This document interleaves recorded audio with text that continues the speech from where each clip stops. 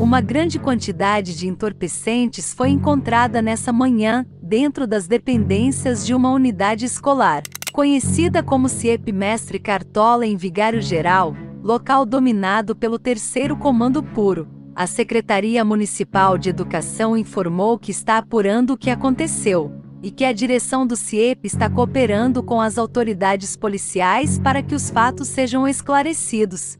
Os entorpecentes foram apreendidos por equipes da Polícia Militar que realizam desde as primeiras horas da manhã de hoje uma grande operação no complexo de Israel. O Batalhão de Operações Especiais, mais conhecido como BOP, também apreendeu dois fuzis, sendo um deles desmontado.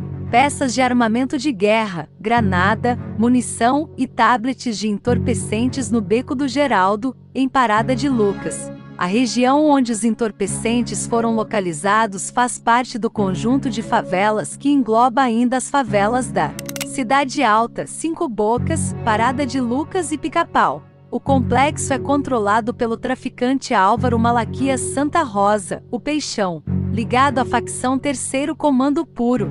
Ele é considerado foragido da justiça.